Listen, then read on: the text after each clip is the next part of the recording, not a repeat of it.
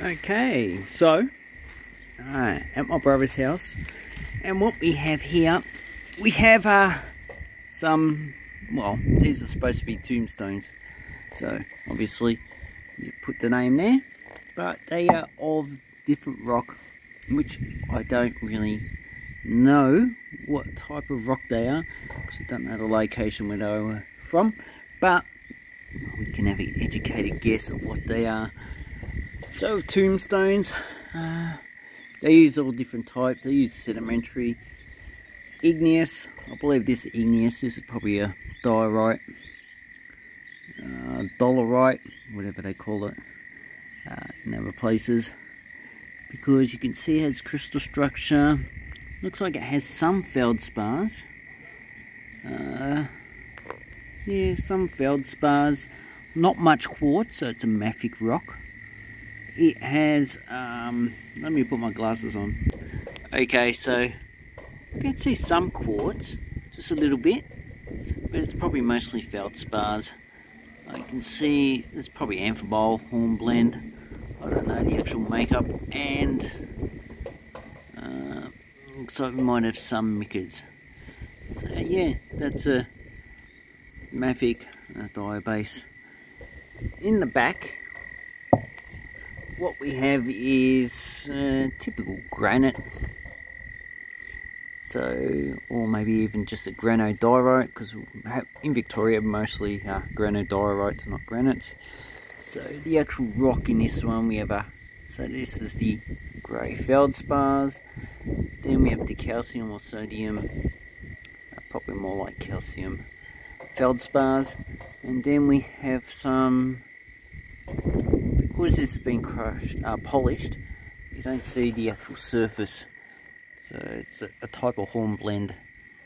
We also micas as well, but I can't see. Yeah, yeah, it does have some micas, uh, muscovite. So there's two slabs of those. So that's uh, probably uh, a, a grano diorite. And could even just be granite. There is some confusion in Victoria with it. These are classified as granites or granodiorites, could be either. Uh, this one is, looks like a metamorphic rock. It has uh, the foliation flow structures. So this is probably a a gneiss, but I don't know of any gneiss uh, rock that's actually in Victoria. So this is probably imported from somewhere else. And if we look at it, so we have probably amphibole hornblende. Then we have micas. Oh no, not micas, I mean uh, potassium feldspars. Then we have some probably quartz and uh, orthoclase and plagioclase. So we have differentiation in the actual melting. Uh, and you can see it's actually been recrystallized. Uh, so that's probably a gneiss and the last one that we have. Uh, this looks like just a typical quartz uh, rich with uh, potassium feldspars uh, orthoclase. And it, because it's cut probably does have some micas in it but I can't tell which is the micas and which is the actual uh,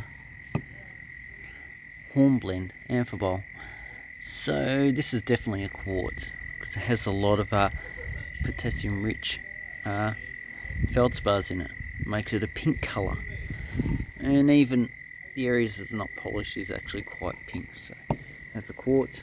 So I've got quartz, probably another, oh no, quartz, granite, granite, granodiorite.